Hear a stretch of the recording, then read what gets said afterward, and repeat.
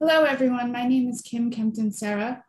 I'm a partner at Garfunkel Wild in the healthcare and corporate practice groups. I primarily focus on transactional and regulatory matters and deal with uh, regular day to day issues for all types of healthcare providers. Today, I'm honored to present with two powerhouses in the healthcare transaction world, Bob Goettling and Matt Searles, who are here to discuss consolidation in physician practices and ASCs today, tomorrow, and next year. First, I'll ask Bob to introduce himself and then Matt, and then we will get into the presentation.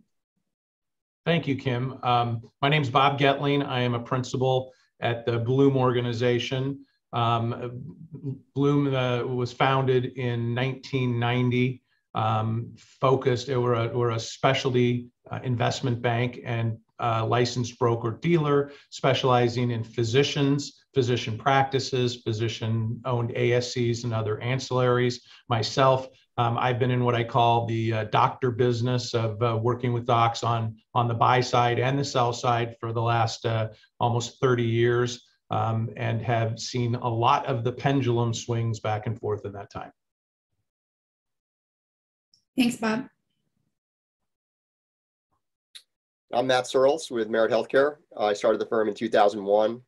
Uh, prior to that, I had a private equity investment banking background and actually started Merritt as a developer and manager of surgery centers. And that, that company still exists today, although I spend, you know, primarily most of my time in the investment banking uh, area of our business.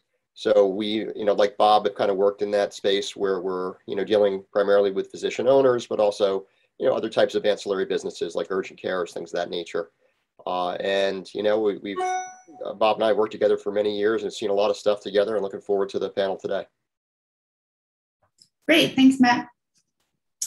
Um, and actually, I'm going to start with you, Matt. Um, could you just give us a quick overview of the medical practice and ASC market as we get into the fourth quarter of this year?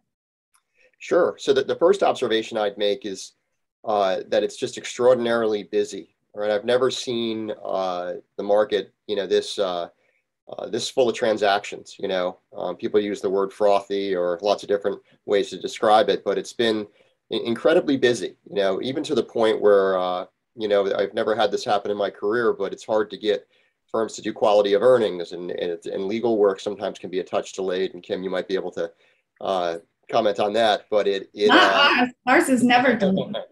well, just, just because there's there's not uh, that many good quality lawyers to work on it, and there's just uh, more deals than there's ever been, and so uh, we're seeing that con- continued consolidation. Um, you know, driven by you know difficulty to remain independent. That, that continues to be a factor in all these deals. Um, I think on the on the buyer side, you're seeing fewer quality opportunities. Right? We always say that in in the case of surgery centers, there were you know, there are 6,000 of them, there won't be 6,000 more. We're, we're kind of dealing in a space now where you know, people are hunting down these good opportunities and uh, there is some growth there that's driving that, you know, migration of cases into lower cost environments, cardiac cases, spine, joint cases, things that we hadn't seen, uh, you know, five years ago. So it's just, you know, extraordinarily busy and the same on the practice side. Just uh, remains very difficult to operate independently. And so there's a real, I think, bipartisan emphasis on consolidation uh, being pushed by you know really both sides of the aisle and payers and all the people that matter. So if I had to describe uh, I had to describe the market, I'd say it's really extraordinarily busy and um, there's a lot of deals being done now. Uh, and Bob, do you think that that's going to continue into? I assume you agree with Matt, and you're seeing the same. Um, and do you think that's going to continue into 2022? Yeah, it's interesting. I mean, I completely agree with Matt that uh, 2021, you know, it's funny, 2020 was we were all scared to death. Nobody knew what was going to happen. We were sitting around trying to reinvent ourselves. You know, it was it was a completely and then the end of 2020 and really 2021 hit. And I think as as Matt said early on, all of us, you know, that, do deals in in in in what I call the doctor business, um, it just exploded. And early on, and you know, as, as Matt said last year, you or this year, we knew this was going to be a, you know, this was going to be a marathon year, and it was going to go, you know, it was going to get busier and busier and busier until we get to December. Now we're in, you know, Q4, and you know, it, it, it everything is exactly as we predicted. Uh, but it, but now, as you know, nobody has a spare moment, but if they do, or when they're laying in bed, they wonder what's 2022 going to look like. Are we going to go back to 2020, or you know, is everybody going to go, oh, relax now and take a breath? I don't think so. Um, and and and the, the the reason I say that, and I tell you know, we're we're at the point now in the year where um, you know, physician clients that come to us now and say, "Hey, we want to, you know, we want to do something with our practice. We want to do something with our surgery center, with our cath lab, with whatever." Um, it, it, there's no way they're getting anything done by the end of the year, right? So now we are into 2022, and what I've seen is that the real driver, yeah, there was all the Washington tax stuff and all that about the uh, the driver to for, for all the business in 2021. Everybody said it was to get it done by the end of the year from a you know from a capital gains tax perspective. But what I see now, and and Matt probably just seeing the same thing. There's just as many new clients coming in now that are going to be 2022 deals. Um, and they're not coming in for tax reasons. That's not their driver. It's you know the other more material reasons. So i don't i don't you know I, I will it slow down maybe a little bit? Yeah but i still think it's going to be you know 2022 is going to be you know crazy busy just because there's so many opportunities. And um, I guess I'll go back to back to you, Matt. So I think I know the answer already, but do you see the transaction volume back at pre-COVID levels, um, or even better than you know 2018? Yeah, I'd say better. You know, I, I, Bob and I talked about this. You know, I I uh, I always say better lucky than good, right? We chose a profession where maybe there was a six eight week lag in deals when COVID first started happening, and there was relative uncertainty about what it would mean, uh, and then you know, transaction volume just really, really picked up. And so we haven't really seen, um, and I don't think it, at Bloom either, really any kind of drop off in, in volume. And it's, uh, you know, I, I can't say that we that we, we saw COVID coming and said, hey, let's jump in that space. but uh, we're fortunate to be in it. And it's just, I, I don't see it abating at all. And to echo Bob's comment, right? I mean, the last capital gains change we had, I think, was 2012, and it had absolutely no impact on healthcare M&A, and neither will this one. Uh, I don't. I think people may have jumped in at some level, uh, concerned about it, but it, it shouldn't factor in to whether or not you do a deal, and I don't, I don't think it will. Um, okay, thank you both.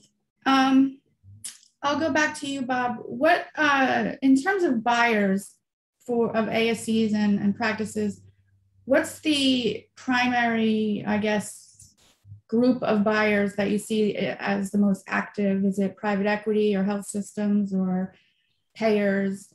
Yeah, so there's a little bit of a there's a little bit of a difference between the ASCs and the practices. Starting with the ASCs, you know, the same buyers that we've been dealing with for you know years, the ASC management companies, the health systems, um, you know, still the most active and probably dominant.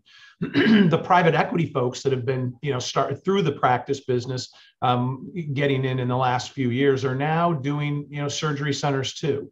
Um, so uh, they've kind of you know uh, become a staple to the to the to the buyers uh, for ASCs. And in addition, what, what we're what we're seeing now, and, and I think Matt will will will agree with this, that we're seeing a lot of joint ventures. You know, they're getting this as the sophistication level of doing surgery centers, you know, continues to evolve. Um, you're getting, uh, you know, hospitals and private equity uh, together and you know physicians and so you're seeing a lot of different um, a lot of different participants in asc deals which again is exciting because it creates you know they're not they're not coming into a certain party new party is not coming into an asc transaction just because they want to. They're doing it because they bring value. And so then it increases and it has the ability to increase the value of the surgery center. On the practice side is still you know the last year or two three has been dominated um, by the private equity groups and the private equity platforms. But make no mistake about it, the health systems,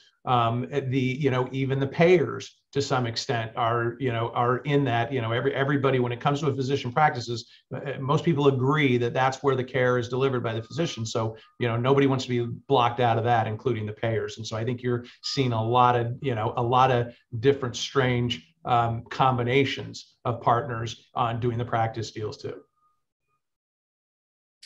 And Matt, what when you are thinking about the world of sort of the available sellers out there, not necessarily available, but the most willing and um, interested sellers, who, what are you seeing? Is it more um, large practices or smaller practices with older doctors who might want to retire? Um, is it multi specialty, single specialty, or just a big mix of all of that?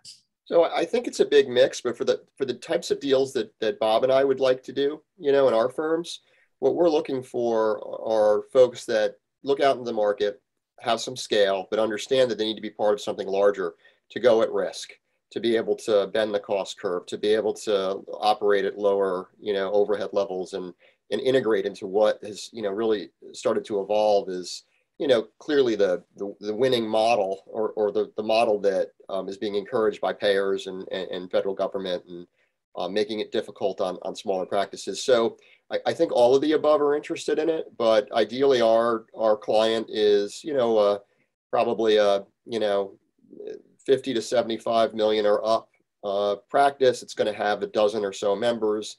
Um, most typically, they do become specialty practices, but certainly there are some primary care opportunities that are valuable as well. Um, so while our firms may focus on some of the larger deals, I think it, it uh, the, the, the factors that are driving consolidation and need to, to uh, be part of larger system, uh, that, that affects everybody. And uh, for both of you, I guess, Bob, first, do you think um, we're seeing valuations at what I would call an all-time high when it comes to practices and, surgery centers. Yeah. So, you know, again, I, I, always, I have a little bit of, I'm a little bit of a, I have a different answer to that. And when, everyone always asks, oh, or, or, you know, what are multiples? Doctors, you know, they, they're always, are the multiples going up? Are they going down? Are they staying the same? Um, my answer is always, you know, I, I don't know, but, there, but I do know this, that it's driven by supply and demand right? You know, if there is a greater demand, and whether it be ASCs or practices, if there's a greater demand than there is a supply, the price is going to go up, right? The multiples are going to go up. If the reverse happens, it's going to go down. So I think the the the the operative thing to look at there is, you know, both of those. How many centers, you know, are out there that haven't on on the ASC side? How many centers haven't done a deal? Right? You know, if that universe is getting smaller, um, then uh, the you know, regardless of what the demand um, is for the centers, the price, the valuations are going to go up. Um, and I think that's the dynamic we've seen on the on the surgery center side over the last couple of years. Um, you know where it goes. Will that you know will that supply continue to decrease and the demand stay there, or will the demand start to you know move over to some other things? I don't know. Um, on the practice side, is it, it's I think it's a little bit more um, you know fluid as to the situation, at least from a supply and demand perspective. The demand, you know, we keep saying, can you get any higher? And um, I don't know, maybe, you know, if it does, that could push some of the stuff up there higher. But the, on the practice side, I think the thing that we're, with some of the crazy valuations we've seen, you know, especially as Matt alluded to in primary care, um, you know, is that sustainable? Can people get a return on investment paying that high? I don't know. We'll see. And you know, at some point, it's going to get to a you know to a, a high enough multiple to where if a return can't be obtained, then it's a bad deal. Yeah. I think on the ASC side, you start to see some scarcity um, that drives, you know, the supply and demand curve in a particular direction, and it's contributed to higher multiples. I don't think there's scarcity on the practice side, but um, there are is a relative scarcity of platform deals where you might find a practice that's large enough, has professional management in place, and is ready today to go start absorbing other practices, and that might contribute uh, to it as well. But overall a sense on the practice side that you know consolidation has to occur um, that it's going to take a certain form and that the first players to really be able to get and create scale are going to you know, create a lot of value for themselves and um, you know ultimately lower that cost curve as well right? Because we see you know, two primary problems with our healthcare system. You know it's a great system but no, no one flies to london or paris for cancer or orthopedic care right? They come here. So what's the problem? It's not available to everybody. That's a problem, which you know Bob and I can't solve. But what we can help solve is uh, to lower the overall costs by helping consolidation occur. Um, and that's that's something that uh, I think is, is recognized as a as a solve here. Moving cases into these environments, consolidating these smaller players, Um, and that that that's all kind of working together to to drive a, you know strong multiples. We, we are you know aware of potential you know increases in cost of capital right coming potentially, but you know almost impossible to predict, uh, and and it's probably also hard to tell whether that'll you know have any meaningful impact on multiples. And, and, and, Kim, if I could follow on to what Matt said, where he, you know, the scarcity issue on practices that he mentioned, and again, both Matt and I, we love the, you know, bigger is better from our perspective. Obviously, uh, you know, the the the the physician groups with 20, 30, 50, 100 docs, you know, are our favorite. But to Matt's point, there aren't very many of those or you know many, very many of them left however the smaller the ones are the onesie twosies you know the three four five docs they have as you know uh, as as high of an interest or potentially even higher to do something you know they're the ones that are really getting burdened with all the changes um, in in all the increased costs and all that. And so uh, we found that you know uh, that a lot of our phone ringing off the hook are those smaller groups, and you know they need our help. Um, you know, as much if not more than the bigger groups. Yeah, I've seen uh, I've seen quite a few um, what I would consider you know medium sized transactions, but but you know doctors two three doctors um, but but they you know they bring value because of their reputation and then you know they're some of some of the more i guess expensive specialties i'll say like plastic surgery and dermatology and um, you know they they they've been selling for more than i would think. Um, at least what i've seen. Sure. Um, matt bob uh, alluded to this before but have you seen any changes in the actual structure of transactions or desired structure of transa- transactions because of the proposed tax changes um, or just tax driven in general? Yeah, I, I think there's a structure that makes sense, right? Where um, there may be some capital event on the front end, but the physicians and the investor are very much aligned uh, with ownership of a, of a common entity moving forward. I, I think that that structure uh, makes sense, has made sense, has a proven track record, will continue. I don't think it's really impacted by by taxes. And uh, you know, another another one of these things that's impossible pr- to predict, but you know, taking the time and care to do the right deal at the right pace is more important than trying to save four percent on capital gains tax increases. Um, and I think most people agree with that. I didn't notice I didn't say all, but most. I don't know. Some of the doctors might not agree. yeah. Well, they, I think they're, yeah. Okay. Listen, doctors are no different than anyone else. There's always those folks out there that are kind of just focused on what's right, right in front of them. Uh, but I think for the most part, they, uh, they understand that. Yeah, but it's interesting, and it's interesting, Matt, that you say that because, and I'm, and I'm sure you're going to nod your head on this also. The docs, to me, when when a when a client, when a physician client is just totally focused, or as several were earlier this year, on capital gains arbitrage, right? That's the, you know, like that was the only, that was the first, second, third reason that they were interested. Um, what what happens is you you know we we sense early on they really don't have you know they're they're doing the right thing for maybe not the right reason and they need to go in going through the whole process that we take them through they then start seeing some of the other that those other elements and then by the time the deal you know a, a transaction actually gets completed there's four or five other things that that you know that they're that were more important by the time they closed than the tax thing but that's but it started being you know that tunnel vision and going through the processes helped educate them and see that wow there, it really isn't a tax play because as as matt can tell you too you know doing this a, a physician on his asc or on practice whatever it may be making a decision for a you know just because of a tr- tax arbitrage in you know this current year probably not the you know uh, uh, uh, enough of a reason to do it.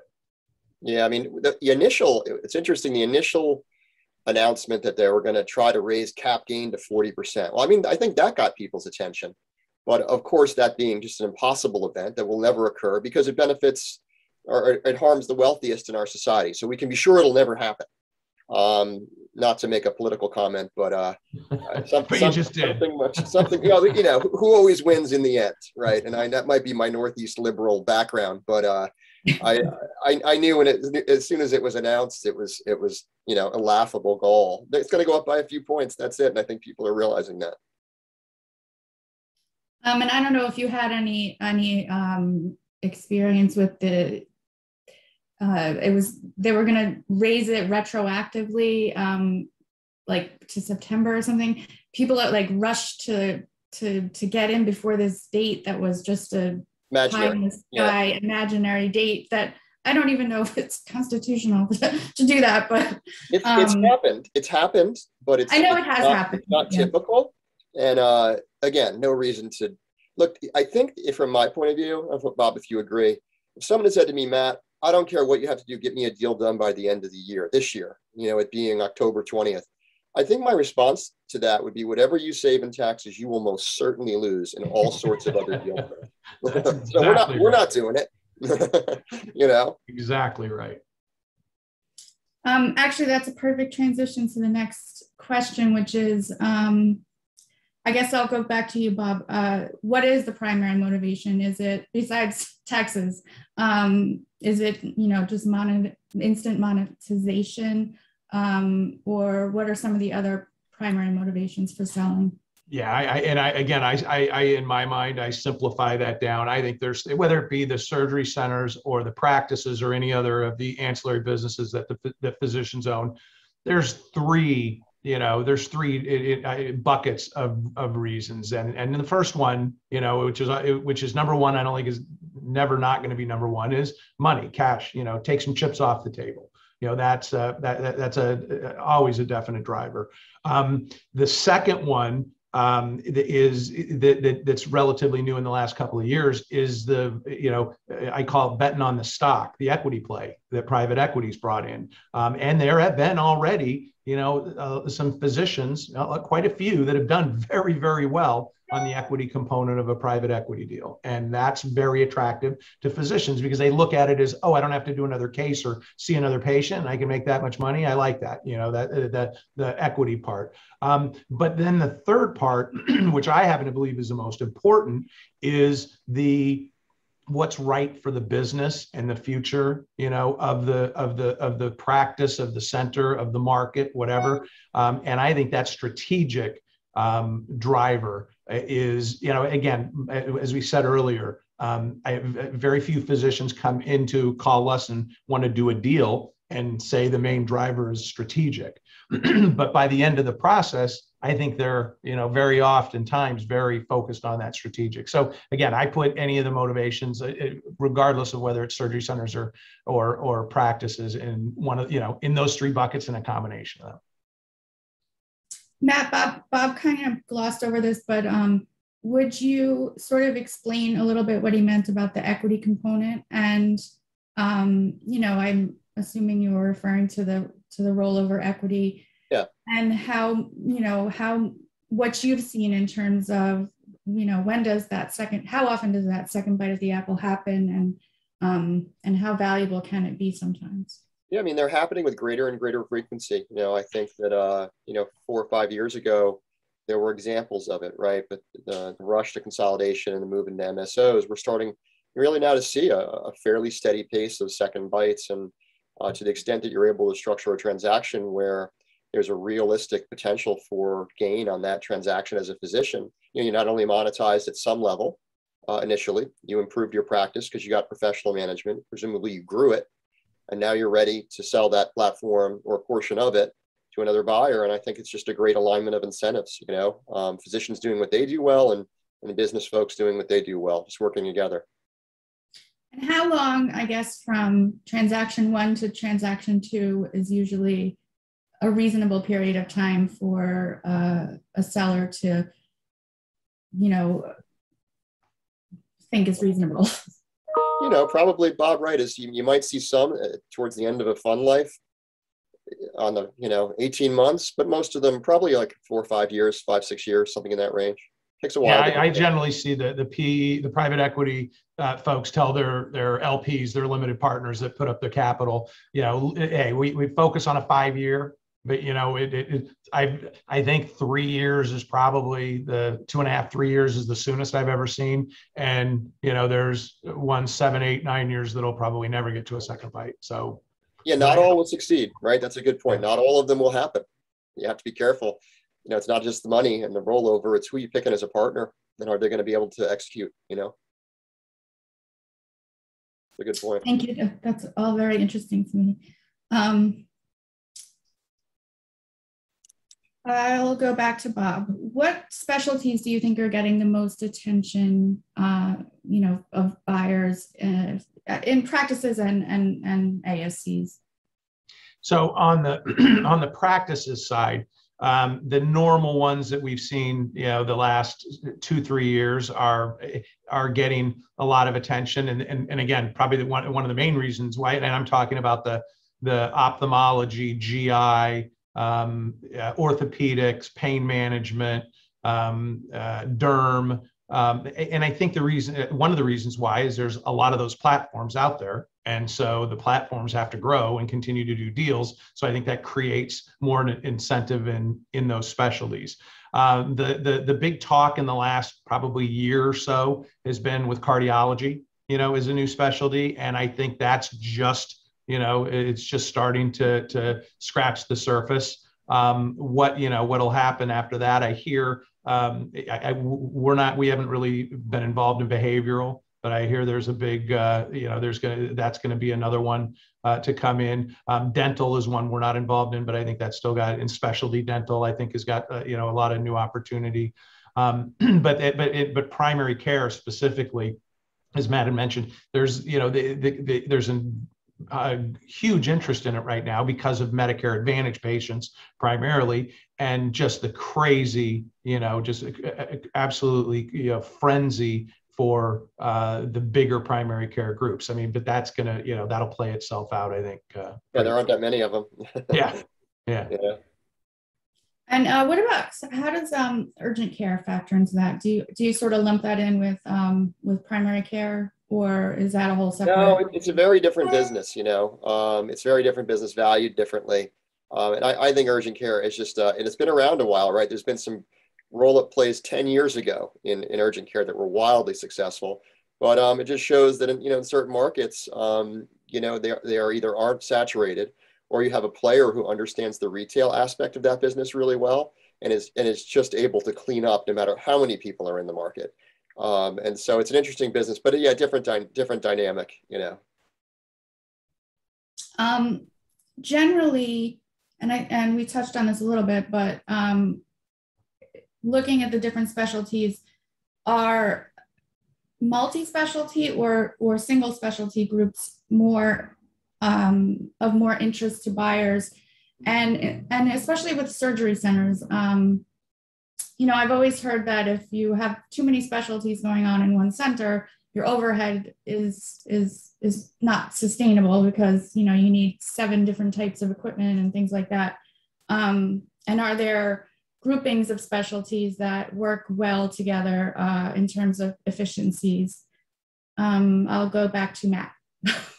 yeah, I mean, you know, I'm still in the ASC business, right? And and I think it's all about execution. Um, we've had some of our most successful facilities have had eight specialties, but um, thanks to people other than me in my company who are excellent clinicians and nurses, uh, they're able to, to make sure everything that's added is incremental. So, I mean, to the extent that your absolute overhead number goes up, well, you know, logically it will, but as a percentage of revenue, it, it, you should be amortizing and, and dropping down. So I, I got a buyer of the multi-single um, you know, listen, we've done ortho only facilities in GI. They had so much volume that they filled the place up and they're hyper efficient because they do one thing every day. But I, I, think if you have a multi that has a sustainable income stream uh, and is well run, uh, I, am not seeing any difference in value there really. Um, and in practices, you know, it's hard to find big integrated multi-specialty practices at the same you know rate as you find uh, single specialty practices. When you do find them, they tend to be larger um, and they're very valuable. So I, I, think it's a kind of case by case basis. I mean, can you complicate the hell out of something by adding more to it? Sure, but it's certainly possible to do in this business. Um, Bob, would your experience in terms of private equity buyers is it typically single specialty? The you know the the focus is on orthopedics, or and is it because those private equity groups only deal in certain specialties, or they only deal in the specialties that are, you know, the most profitable? Yeah, I mean, probably yes to all that, but it is, is, is, a little bit more color. The the you know the typical private equity firm they start with a thesis. You know that's how they how they and they they they do a whole bunch of research and figure out that okay for you know uh, uh for this reason this reason this reason we want to go into you know cardiology okay? Um, and then they'll you know it, it, it, then it takes a lot of you know they need to spend a lot of time and find a platform in cardiology and then get into it. And it's a it's a it's a long process. So the shotgun more a shotgun approach to where we're interested in any deal you know any doctor deal regardless of the specialty i don't think that you know I, I at least I, I, I haven't dealt with any private equity firms that have that strategy. So that i think i think they're trying to focus on a thesis you know a value creation thesis that'll get them as we as we said earlier with that five you know that five year plan. Because remember the private equity firm that comes in and does a platform in you know orthopedics gi whatever it is their sole goal is that you know at some point four five six whatever years down the road they want to cash out and they want to produce the highest return to their limited partners period and so I think they're and they're and and they're very very smart folks that are in the private equity world. And i think they're you know they're because of that they're it's just it it it, it defaults back to a you know don't shoot too wide and you know keep your focus as narrow as possible. You know uh, one thing i'll throw in uh we were talking a minute ago about cardiology and mental health. The, the first two deals in the history of our company where we're rolling uh, equity our fee into equity. Like we're not taking the cash. Or, or is a cardiology deal and a mental health. Uh, I I believe in both of those, and not that I don't believe in the others, but these two just really stood out as being early enough stage and well managed that uh, you know it was just something that we had the opportunity to do. Thankfully, they allowed us, and um, I'm not sure we'd do that for every deal. You know, we wouldn't. um, so we've we've basically focused on consolidation um, most of this time here, but uh, because of the migration of so many different procedures into surgery centers, is there still um, an appetite for building building new? Um, are you seeing that happening with physician groups or even hospitals or as joint ventures between physicians and hospitals? Um, I will start with you, Matt. Yeah, so in our ASC company, um, our last uh, four and next two to three will be with health systems that are moving cases into surgery centers. Um, in my neck of the woods, which is the Northeast, it'd be extremely difficult to find a independent group of physicians that has enough volume to do a center that isn't already in a center. So that's where our growth is coming from. And then, of course, in some of your more progressive states, and when I say that, I, I, don't mean you know necessarily better, but just states that are a little bit more uh, accepting of something new. You, you might see you know higher acuity cases like you know right-sided ablations or stents being done. It's going to take a while to seep into the Northeast, I suspect, but uh, it's coming, and that's going to drive new centers. But uh, like I said, you know, there's when there's 6,000 centers, there won't be 6,000 more. Probably be about 6,000 as some fade away. The ones that were set up in an out-of-network model or didn't have good succession plans um, you know, there'll be as many being created as, as, as kind of fading away, but I don't see, you know, seven or 8,000. I don't see that happening. Is that similar to your experience, Bob? Yeah, I mean, I, am interested in hearing Matt uh, because Matt actually, as he said, he does surgery centers. You know, he he develops them and, and that, and so you know he's he's got that more that operation side from just doing deals perspective. Where I come at it, I look at it as what I see on new centers. Yeah, exactly that. The new centers are are, are oftentimes in a market. They're the docs, the younger docs that didn't get the big, you know, that the senior partners already maximized that years ago, and they don't have because uh, you know anybody who's who's taken any of the chips off the table on a surgery center deal has a restrictive covenant, right? So they're not going to be able to unless they go outside of that. They, even if they want to do a new center down the road, you know, across town, they can't. Um, so what you're left with is the younger docs that were employed, you know, employed or, or junior partners when the surgery center deal was done years ago, and now they're not only up and you know rocking and rolling from a volume perspective they don't have a restrictive covenant so i see those as being the you know quote new centers. Um, in addition to, as Matt said, as the higher acuity stuff comes, you know, continues to come out of the hospital, that creates, you know, a different, uh, a, a, need for a, you know, potentially a different type of a center. Um, and Bob, how how does do you see value-based care playing into demand for physician practices and, and surgery centers? And how do different buyers view value-based care such as hospitals versus private equity? Yeah, so that's the real, in, in my mind, you know, today, tomorrow, you talk about 2022 and 2023, value based care is the you know is the game changer here and and again first from a practice perspective right as, as as matt and i said earlier on the primary care side you know the big primary care practices especially those that have a lot of of, of the medical advantage medicare advantage they're already gone. They've already been paid you know nosebleed prices and and they've they've done those deals. So there's not that many of those left. What we seem to now as a focus at bloom what we're focused on a lot not specifically the physician practices. Rather we've gotten into and have clients in the delivery uh, of care acos um, uh, at-risk IPAs, you know, that because uh, those are that's the way that value the value-based care is being delivered now um, in some markets. Um, but then the other the other thing so interesting about value-based care is up in the Northeast where, where where Matt is in that,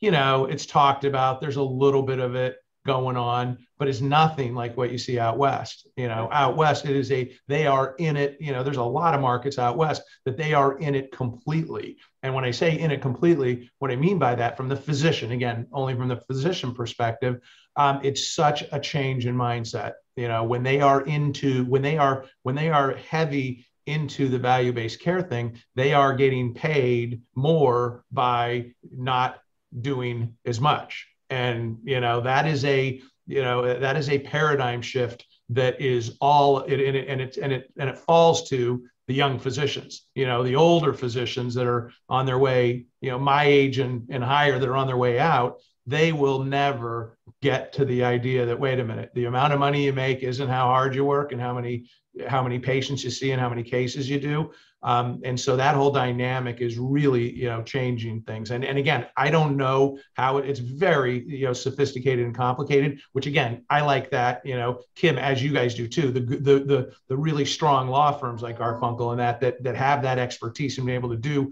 those types of transactions, there's demand, right? And that demand's going to, you know, hold out for, I, I think many years, but how it's going to evolve and what it's going to look like as you know as it as it gets further down the down the road you know, no question. But again, to me, that's exciting.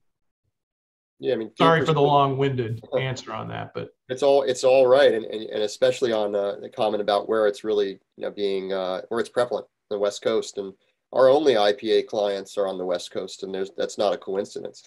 You know, that's just because they are. That's where they. Uh, that's where this is being done. But the the fee for service model is deeply flawed. It really is. I mean, it does not how does that really incent quality versus quantity? And it's just something that we have to just, you know, be cognizant of, of as, as we look to change the system collectively, right? That, that moving to value-based care uh, in this particular business and healthcare is better for patients and it's going to be better for the cost curve. And to the extent that you are pushing uh, towards those directions, it's going to be valuable to, you know, folks that are looking to accelerate that trend by investing in it. Okay, thank you both. I want to ask you one last question. Um, what is one piece of advice, I'll go back to Bob for now, that you would give to physician practices and ASCs related to the future of healthcare transactions? Advice to the to docs, right? On that. Yes. Um, I, I, think it would be that you, you know, a, a, an acronym that I always use, um, ABP, always be planning You know, I, and, and again, I, I don't know that, that that, that I think it's very important today and will be tomorrow because you don't know where things are going. But in my in, in my experience, the the the really successful physicians um, are the ones that are always doing that. You know, eh, eh, when they're done, when they're driving home after after surgery or after seeing patients, they're thinking, you know, what's you know what's what's the what's the what what's the market you know my market going to look like next year? You know, what about this? What about that? And those are the ones that um, I think are are you know always the the most successful, regardless of what the methodology on the delivery of care is. Uh, and so I always encourage, especially the young physicians, to spend an appropriate time. They don't teach that in medical school, but spend an appropriate time, amount of time thinking about those, talking to people, reaching out and trying to educate yourself because it'll pay, it'll pay huge dividends in the long run. Yes, I agree. You know, um, none of us know everything. You know, having no plan is is not a plan. Um, a wise philosopher once said, "Everyone's got a game plan until they get till they get punched in the face," and that, that was Mike Tyson. And I think what, what he means by that in, in, in, a, in a healthcare context is that uh, don't let a payer clobber you. Don't let a competitor clobber you by being you know ahead of you on value-based care, by being ahead of you on growing their platform in a in a in a in a you know cost-efficient manner. Uh, educate yourselves. None of us are born with this knowledge in our head. Uh, we have to go out and we have to actively seek it. Um, I guess the only thing that I would add is is I wouldn't be in a mad rush to or panic. I don't think there's need to panic but change is afoot uh, it will occur for everyone. And the sooner you're you're comfortable with a with a with a plan um, that makes sense, the the better. You know. Great. Well, thank you both so much. Um, you're obviously both very knowledgeable in this area, and um, I we very much appreciate your participation. Um, thank you to everyone who is uh, joining us today, and we hope that you'll uh, come back for our live Q and A. Um, and obviously, you can reach out to any one of us directly with any questions that you may have. Thank you. Thanks, Kim.